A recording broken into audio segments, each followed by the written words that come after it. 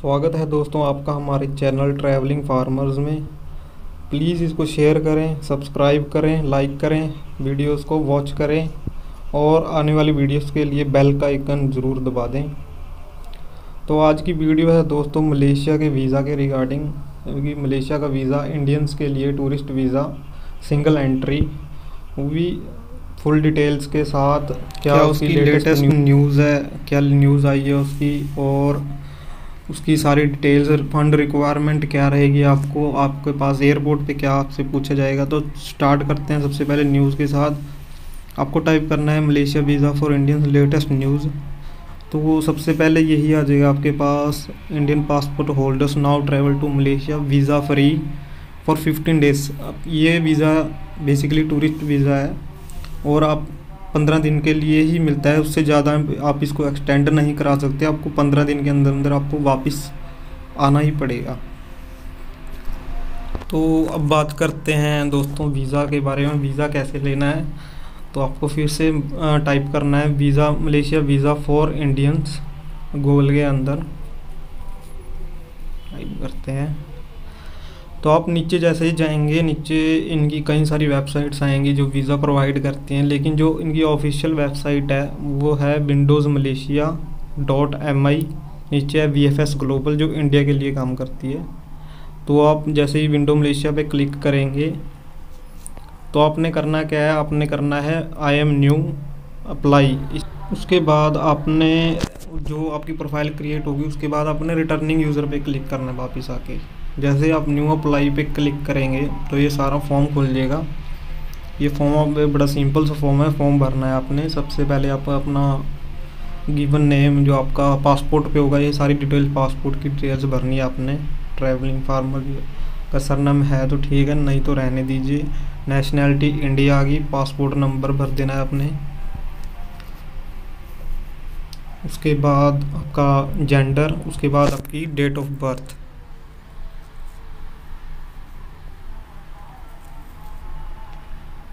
date of birth के बाद आएगा आपका एड्रेस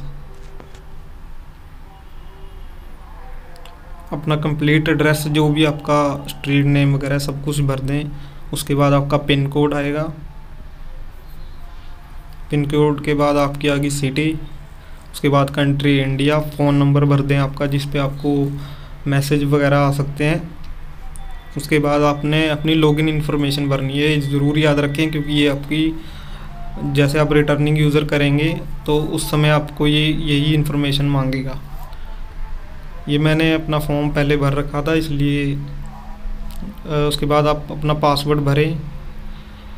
पासवर्ड भरने के बाद आपका नीचे ये कैप्चा आ रहा है, इसको भरें। ये क्या सेंसिटिव होता है, इसको ध्यान से देख के भरना। है आपके रजिस्टर करेंगे ना, उसके बाद आपको मेल आ जाएगी। मेल के ऊपर आएगा आपके पास welcome to e visa your e visa account has been created successfully click here जैसे आप क्लिक करेंगे, आपका अकाउंट वेरी वेरीफाई हो जाएगा। तो यहाँ से बंद करके आप फिर से इसको उसी पे क्रोम पे खोल सकते हैं, जो भी आप वेब ब्राउज़र यूज़ कर रहे हैं।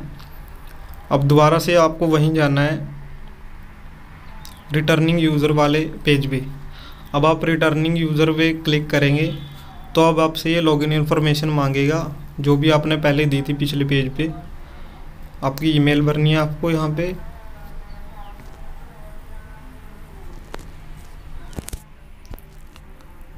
और उसके बाद आपका पासवर्ड जाएगा। उसके बाद आपका फिर से कैप्चा जाएगा ये। ये कैपिटल और स्मॉल लेटर्स देख के भरें, नहीं आपका ये फेल हो जाएगा। उसके बाद आप जैसे ही साइन इन करेंगे तो आप यहाँ पे दो वीज़ा आएँगे। पहला ई वीज़ा ये होता है, ये भी बेसिकली टूरिस्ट वीज़ा ही है, लेकिन ये मिलता है आपको तीस दिन के लिए। ये उस तीस दिन से ज़्यादा नहीं मिलता है, तीस दिन के लिए मिलता है। जैसे अगर आपको महीना लगाना है वहाँ पे, तीस दिन के अंदर अंदर आपको रिटर्न करना है तो आप ये ये वीज़ा अप्लाई करें। इसकी फ़ीस होती है 200 और 80 डॉलर अस्सी रिंगिट दो सौ अस्सी रिंगिट इसकी टोटल फ़ीस है। और जो हमने अब अप्लाई करना है E N T R I program visa waiver program है, जिसकी हमने न्यूज़ भी पढ़ी थी। इसकी फ़ीस सिर्फ़ वन सिक्सटी रिंगट है और ये आपको पंद्रह दिनों तक ही, पंद्रह दिनों तक के लिए ही मिलता है। उसके ज़्यादा आप इसको एक्सटेंड नहीं करा सकते। और जैसे ही आप इस पर क्लिक करेंगे enrol E N T R I program पे आपको क्लिक करना है। जैसे ही आपको इस पर क्लिक करेंगे, आपको ये सारा नोटिस आ जाएगा। इसके ऊपर बेसिकली रिक्वायरमेंट बताई हुई है कि आपको फ़्लाइट टिकट्स की रिक्वायरमेंट है मेन तो आने और जाने की। और नीचे है रिक्वायरमेंट की इमिग्रेशन आपसे क्या क्या रिक्वायर कर सकती है। एयर पे और लैंड बॉर्डर पे आपको सबसे पहले चाहिए E N T R I note जो आपका वीज़ा होगा, जो आप ये अप्लाई करोगे मेल पे वीज़ा आ जाएगा boarding pass confirmed tickets sufficient funds cash deposit cash credit card ये सब कुछ जो इसके अंदर दे रखा है, ये चल जाएगा। और कंप्लीट ट्रैवल इटनरी तो आप मलेशिया के अंदर कितने दिनों के लिए और आप पर डे आप वहाँ पे क्या क्या कर क्या क्या करेंगे? और प्रूफ ऑफ़ रेजिडेंस यानी कि आप मलेशिया में कहाँ रहने वाले हैं? उसके बाद आपको प्रोसीड करेंगे तो आपका ये अकाउंट सक्सेसफुली बन चुका है। इसके अंदर आपकी डिटेल्स आ जाएँगी। इसके बाद आपने करना है अप्लाई न्यू पे वीज़ा के लिए। जैसे ही आप अप्लाई न्यू करेंगे, ये फॉर्म आ जाएगा। अपने भरनी है, यहाँ पे अपनी फ़ोटो अपलोड करनी है।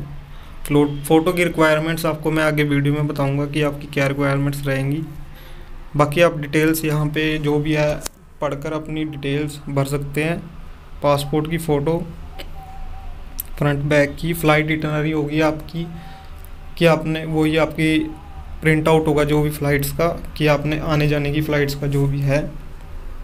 उसके अंदर आपकी डिटेल्स होंगी। आपकी पासपोर्ट डिटेल्स होंगी। और issuance date expiry date last exit date last exit date में आपने ये डालना है कि आपने पिछली बार अगर कहीं विज़िट किया है तो आपने वो देश कब छोड़ा था। और नीचे आ जाएगी आपकी अराइवल डेट मलेशिया के। ये सारी आप पढ़ के, बड़ा सिंपल सा फॉर्म में पढ़ के आप सारी डिटेल्स डाल सकते हैं इसके अंदर।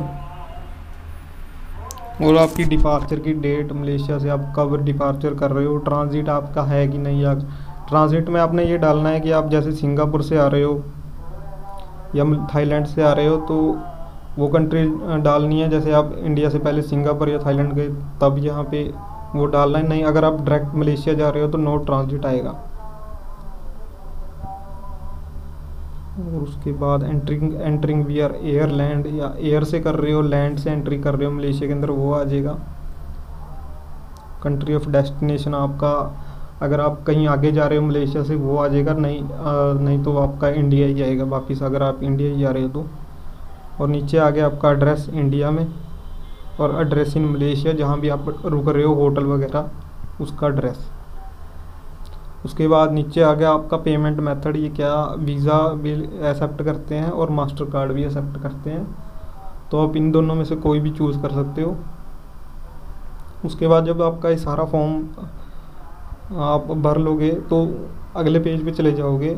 अगले पेज पे आएगा फ़ोटो एडिटर जो आपने फ़ोटो की डायमेंशन आपने दी होगी, वो बॉर्डरलेस फ़ोटो होगी।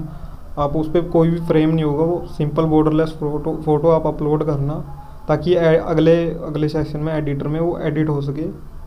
उसके बाद रिव्यू होगा आपका फॉर्म का, जो आपने भरा है, वो पेमेंट होगी वहाँ पे।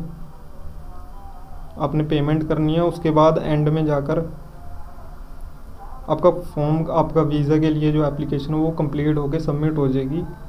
वो जो कि आपकी, आपका वीज़ा उसके बाद एक एक घंटे से लेकर एक दिन के अंदर अंदर आपकी मेल के ऊपर आ जाएगा। अब आपने वीज़ा कैसे चेक करना है कि मेरा वैलिड है या नहीं तो आपने फिर से वो उसी पेज पे जाना है जहाँ पे ऊपर आप देखना, यहाँ पे लिखा हुआ है, चेक वीज़ा ऑथेंसिटी, ऑथेंटिसिटी। आपने यहाँ पे अपना पासपोर्ट नंबर डालना है, स्टिकर नंबर डालना है जो आपका वीज़े के ऊपर होगा। आपने सेलेक्ट करना है कि आपका वीज़ा कौन सा था ई वीज़ा था या E N T R I था। उसके बाद आपने कैप्चा डालना है नीचे। उसके बाद आपने डालना है I have opted my E N T R I और चेक करना है। उसके बाद ये आपको सारी डिटेल्स बता देगा। अब बात करते हैं कि आपकी रिक्वायरमेंट फ़ंड रिक्वायरमेंट वगैरह क्या रहेगी। मलेशिया के इमिग्रेशन के लिए फिर से आपको वही सर्च करना है। नीचे आप जैसे ही जाएँगे, नीचे आएगा वी एफ़ एस ग्लोबल इसके ऊपर जैसे ही आप इसके ऊपर क्लिक करेंगे, आपको क्लिक करना है ऑल अबाउट योर वीज़ाज़ के ऊपर। ऑल अबाउट योर वीज़ाज़ के ऊपर आप जैसे ही क्लिक करेंगे तो यहाँ तीन टाइप के वीज़ा आपको बताता है। सबसे पहले वीज़ा ऑन अराइवल ये उनके लिए होता है जो थाईलैंड सिंगापुर और इंडोनेशिया से मलेशिया के अंदर एंटर करते हैं। और ये इनके वो डेजिग्नेटेड बॉर्डर्स है जहाँ से आप एंटर कर सकते हैं एयर और लैंड के। दूसरा है आपका वीज़ा विद रेफरेंस ये उनको मिलता है जो जैसे कोई काम करता है वहाँ पे या स्टूडेंट है या सोशल विज़िट टेम्प्रेरी वर्क के लिए वहाँ जा रहा है, ये उनको मिलता है।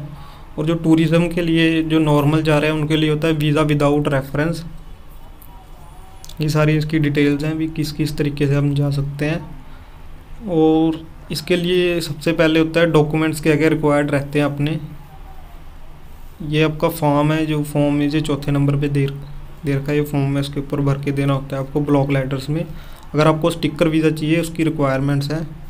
और मेन जो रिक्वायरमेंट्स नीचे देर किए हैं फाइनेंशियल रिक्वायरमेंट वो आपको इमिग्रेशन पे E N T R I पे भी काम करेंगी। मिनिमम तीस हज़ार बैलेंस तीन महीने की बैंक स्टेटमेंट आपकी चाहिए उनको। मिनिमम तीस हज़ार बैलेंस फॉर एक पर्सन के लिए साठ हज़ार अगर दो हैं या फैमिली जा रही है उन, उनके लिए।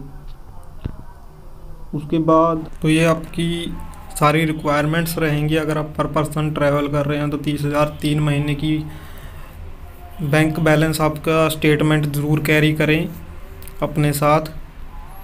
और बाकी भी अपना फाइनेंशियल डॉक्यूमेंट साथ में कैरी करें। आगे आती है फ़ोटो की स्पेसिफिकेशन फ़ोटो की स्पेसिफिकेशंस आप वीडियो पॉज करके पढ़ सकते हैं। ये आपकी रिक्वायरमेंट रहेगी। सारी ये आपकी ध्यान में रख के ज़रूर लेके जाएँ। अपनी फ़ोटो इसी तरह से आप अपनी फ़ोटो खिंचवा सकते हैं, जो आपकी रिक्वायरमेंट्स इन्होंने दे रखी हैं।